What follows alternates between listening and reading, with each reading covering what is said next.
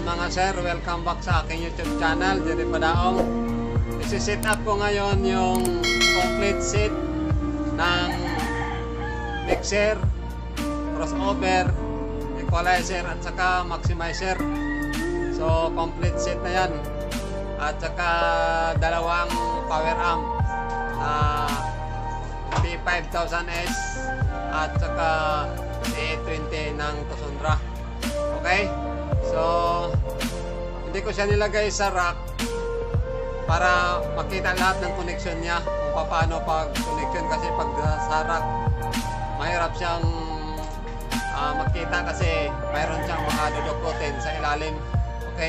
Kaya nilabas ko lahat ng mga equipment para makita lahat ng connection. So, at saka madali siyang mag-connect. Okay?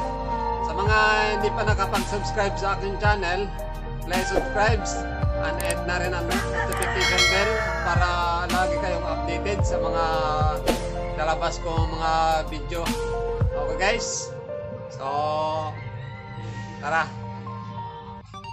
So, ito na yung complete set guys ng ating setup. So, mayroon siyang 8 channel na Tosundra stereo mixer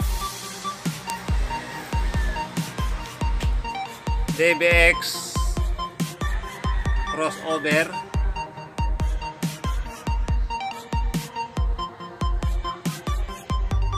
KKA audio na maximizer.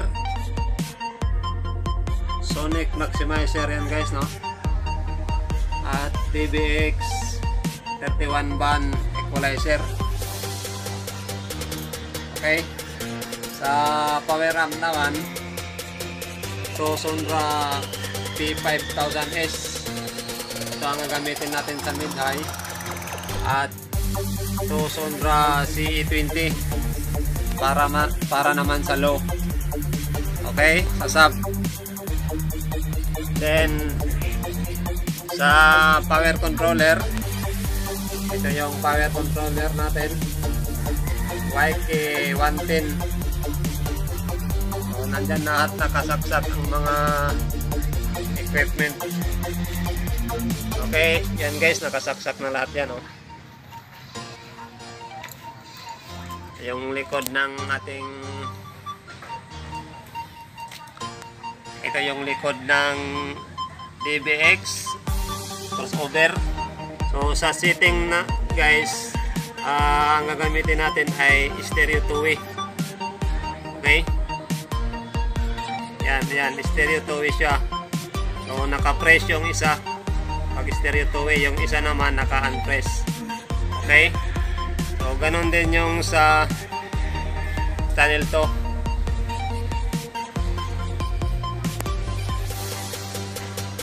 Yung kanyang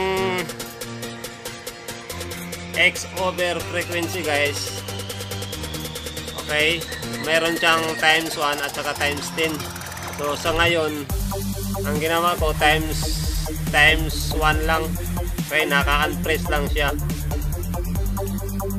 Yan lang ginamit ko, uh, times 1 lang sa kanyang X over frequency. Ganun din yung sa kabila. Okay, yan, naka-unpress lang yan. At saka, yung kanyang lusam, yan, hindi ko ginamit yan. Okay? Then, sa Sonic Maximizer naman, ito naman yung Sonic Maximizer, yung sa pangalawa. Ito, ito yung input. Channel A. Ito naman yung output. Okay, ito yung likod ng Sonic Maximizer. Okay. Then, ito naman yung DBX equalizer sa baba. Ayan. Same sila ng mga saksakan guys ng ng DBX equalizer at saka Sonic Maximizer guys no. Same lang sila. Input at saka output.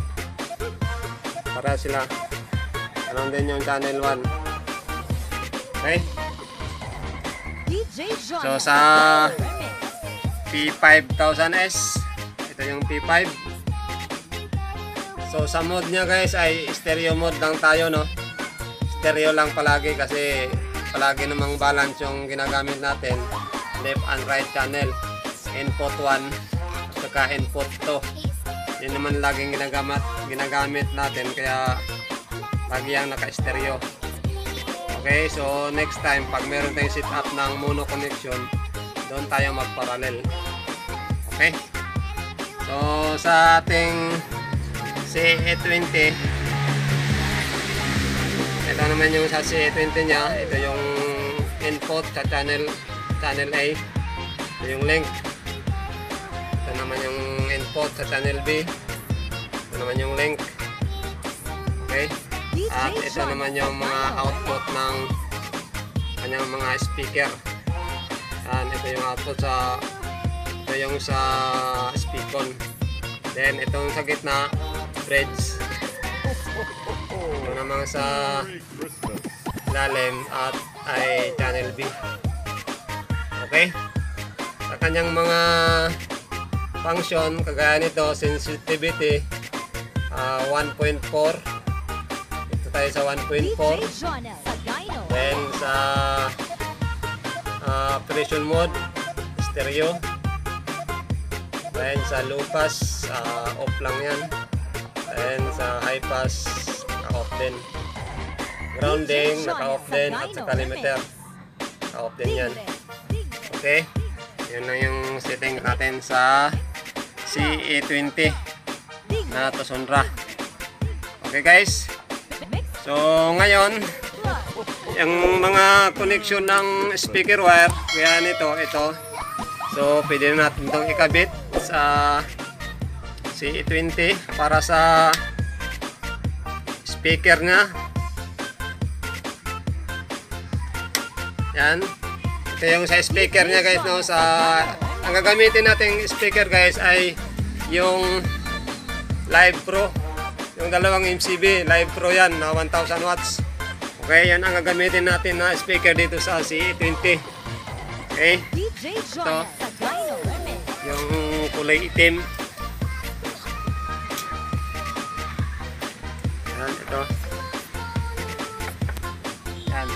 yung papunta dito sa MCB okay? Then ito naman ang wire ng ah, speaker wire ng mid high para dito sa P5000S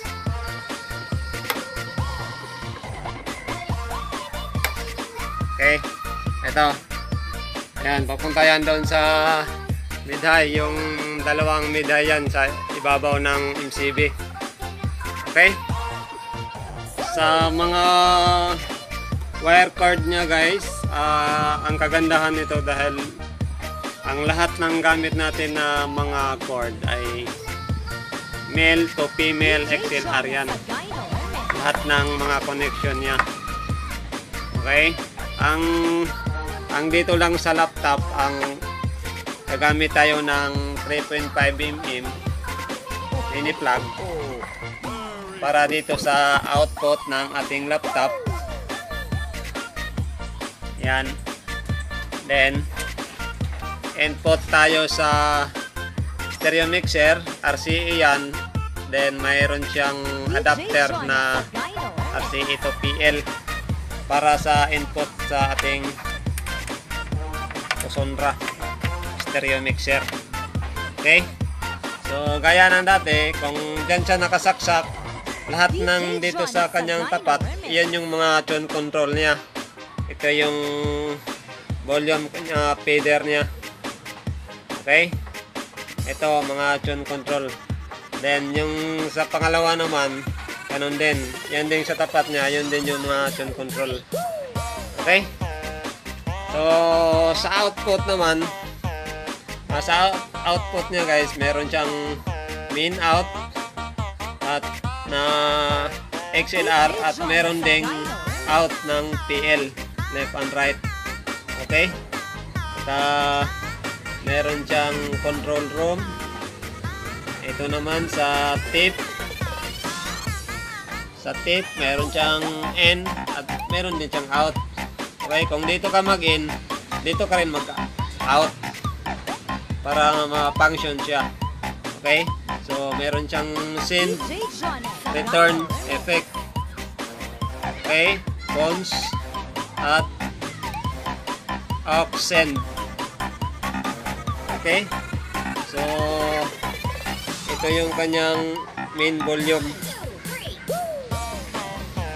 So, dito sa output, so gagamit tayo ng XLR. Ito. Female XLR to male XLR. So, ito.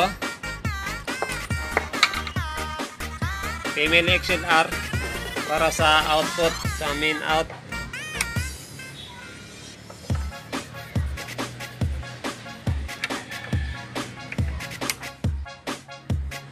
Okay. So, ito, DJ Jonah sa Dino Remix. unang unang connection niya guys magmula dito sa stereo mixer papasok siya sa input ng equalizer. Ito yung pinakailalim yun yung equalizer guys no? Yan sa input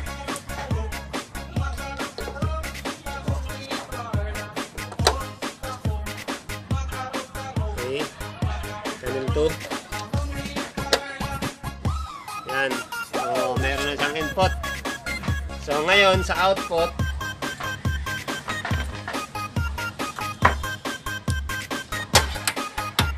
ito, kulay blue. So, sa output naman, ng equalizer, guys, yan, output, DJ Jonah sa Dino Remix. Channel 2. Then, ito, Mel XLR. Papasok siya ngayon dito sa input ng maximizer. Guys, input. Yung pangalawa, maximizer yan. Okay? Ito, input ng maximizer. Yan. So, sa channel to, dito rin sa channel to ng input ng maximizer. Okay? Okay. Yan. Yan guys, oh. Output. Pasok siya sa input ng maximizer. Okay? Then, sa output naman,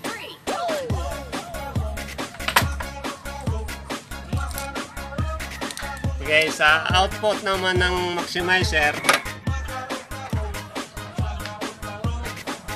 Ito. Female XLR, XLR pa rin yan. Yan, output. Papasok naman siya ngayon sa input ng crossover. Yan, input.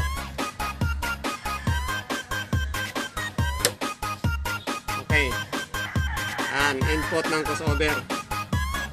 Then, dito sa channel 2,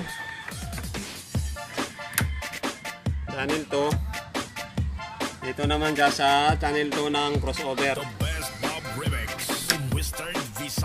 Okay. So output ng maximizer guys no? Kulay dilaw. Pasok siya sa input ng crossover. Okay? Then sa output na tayo no? Output na na tayo ng crossover. So ito yung output ng crossover sa low. Ito naman yung sa high kasi stereo two-way yung gagamitin natin na setting kaya low at saka high lang. Okay? So gamit tayo ng female XLR o una, unahin natin ang high. High tayo yan sa high channel 2 channel 1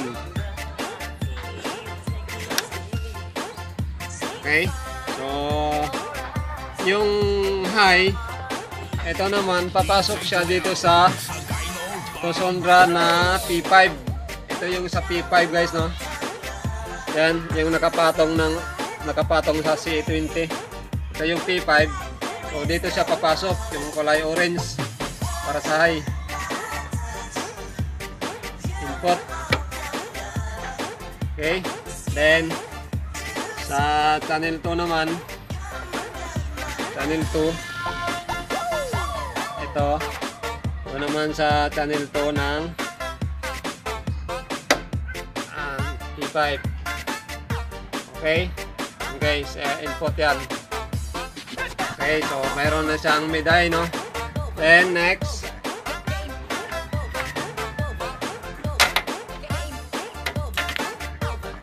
sa okay guys ito sa low. Yan.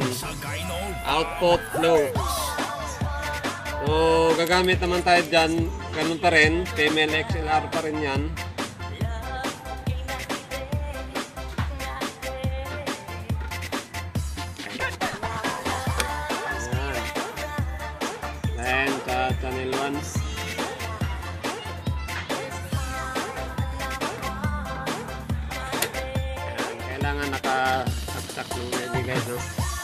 Okay, yung kulay green. Ah, sa low, papunta naman dito ngayon sa C20. Okay, dito sa C20. Ito yung ah, channel B input. C20.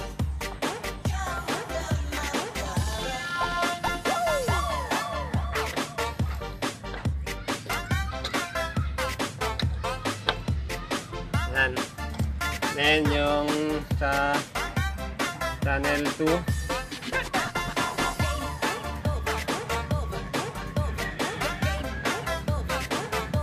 Ayan guys, so okay na. So meron na tayong channel A at channel B input. Okay, so ganyan lang ang connection guys, no? So kompleto na yan, no? So, sana masundan yung maigi yung aking ginawang connection guys. Kasi pag pag titingnan mo yan ah, parang magulo siya tingnan no? Ah, kasi ang dami nila. Ang dami nilang nakasaksak. Okay?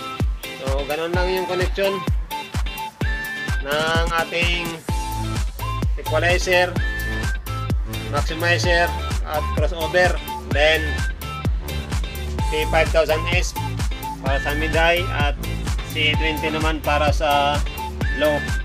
Okay so pwede na natin i-testing yan guys. So sa kanyang supply guys so ito yung supply natin no? Isang supply lang yan. Then ito yung papunta sa power controller Okay, so yan, dyan na yan nakasaksak lahat ng component natin. Power natin yung uh, bits niya. Yan, power natin lahat yan. Okay, so, so pwede na natin i-power. So, yung mga, yan, yung crossover, naka-power na. Lagyan na lang natin siya ng volume, uh, kalahati para diretso na. Then, maximizer. Yan. So, sa maximizer guys, naka-out pa lang yan. Sa ating equalizer. Yan, naka-power na. So, sa equalizer naman guys, so natural ano lang yan. So, kung kayo naman mag-set up nito, ah, hanapin nyo lang yung pinakamagandang settings na gusto nyong marinig. Okay? And sa power ng amplifier sa Tosondra T5000S then uh, C20 so maglagay na tayo ng volume ng kalahati and then dito rin sa T5 yan kalahati din kasi nakasero pa naman yung ating crossover. Diyan tayo mag-volume kung alin yung gusto nating patugtugin, palabasin. Okay? And dito sa mixer, ayan, nakapower na pala yan. No? Okay, so pwede na tayong mag-select ng music guys para sa testing. Ayan, so may music na yan. Dito sa ating mixer. Ito yung volume niya. Yan, so mayroon ng music yan, no? So ngayon, ah dito na tayo mag-adjust sa ating ah, crossover. So unahin natin yung kanyang high. Once again, this is Cherry, the foreman, idol. Yan. Yan ang kanyang mid high, no?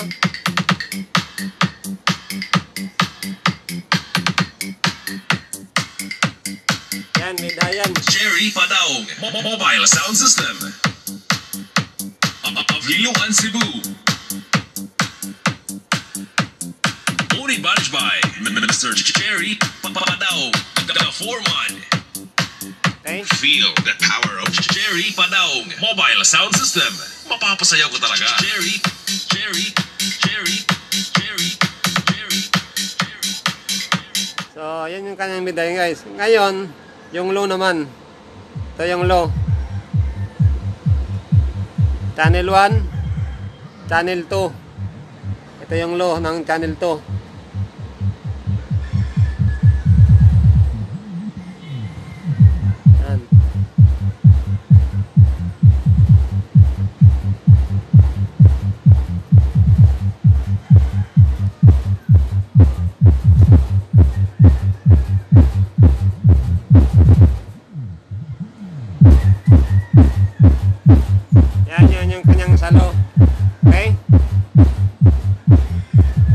Then, isabay natin yung kanyang mid-high.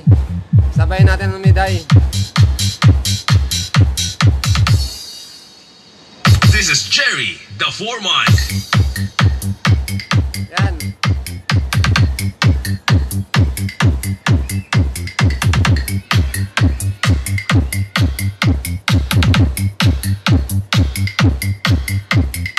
This is Jerry Padaong mobile sound system of Liluan Cebu.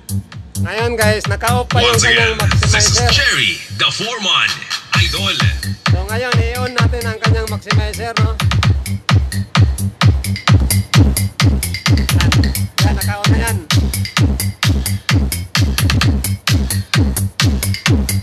Jerry Padaong mo- mo- mobile sound system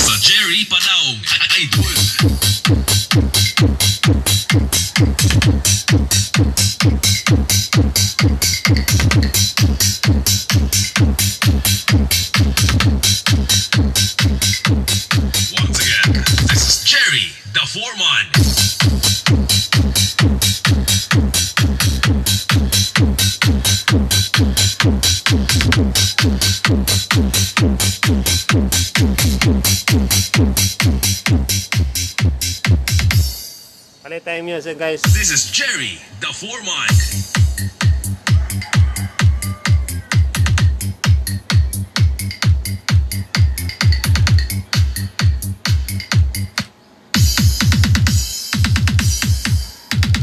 Powered by DJ Keon and DJ Demo Tricks.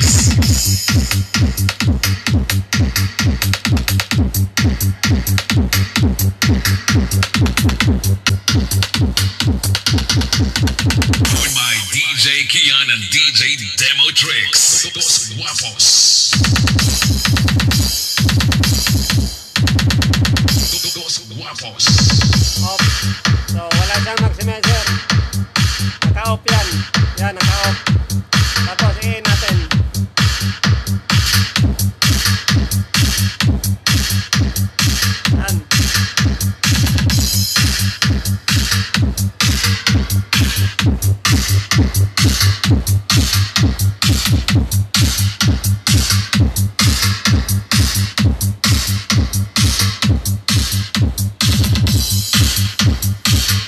Thank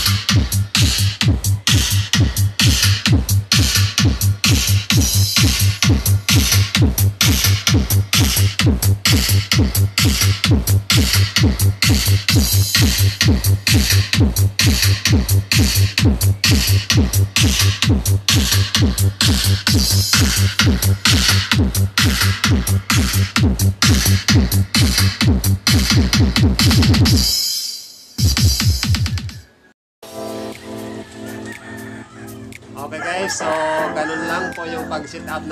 Ng dual power amp. At Cassandra stereo mixer, crossover, DBX, equalizer. At saka maximizer. So sana nasundan niyo yung aking sit up Ah, kasi nire-request yan ng may-ari na pakita natin yung pole connection ng ating sit up. Okay? So, sana nasundan nyo yung aking ah, ginawang connection. So, sa mga hindi pa nakapag-subscribe sa aking channel, please subscribe at press the notification bell para ma-notify kayo pag meron pa akong mga bagong upload na video. Okay? So, shout out sa mga subscribers natin na laging nagpapa-shout out, no? Shout out kay Sir Don Miguel Ransky sa may-ari nitong ating sinit up ngayon. At shout out din kay Sir Lawrence Tinlac ng Vancouver, Canada. At ah, shout out din kay John Clay Babagay. Michelle Pensader at King Randy ng Batangas. Crazy Little Girl. Sasi Campuno ng San Pablo City. Rama Gaming ng Malasiki, Pangasinan. Solimar Castañeto ng Bella Verde, Nueva Vizcaya. RJ de Macali ng Saragosa, Nueva Ecija. Juanito Perdida Music Lover Soundcheck TV Janet Pielago Ren Arriba. Efren Tomarong ng Bacolod Clarence Pabilar. Neneng Vincent Shout out sa Tanang Bacolod nun. JC Pacquiao. Charlie Casinelio Ormoc Leyte Johnny Ibanez shout out sa lahat ng Mailonggo at Jane Manilheg ng Camiguin Islands Okay, big shout out sa inyong lahat guys. So sana huwag kayong magsawang manood sa aking mga video about uh, sound system setup at paggawa ng mga speaker box. Okay? So, see you to next vlog. Thank you, thank you.